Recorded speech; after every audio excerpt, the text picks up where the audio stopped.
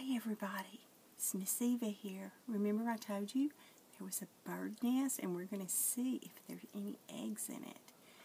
Every year a mama bird comes to this nest. Right there. And she lays eggs. We're going to take a little peek and see if there are any eggs in it. Here we go. Getting closer, closer, closer. Very carefully.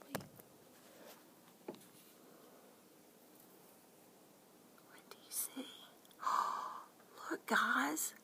I see eggs. One, two, three. Yay. We will check back another day to see if there's any little birds.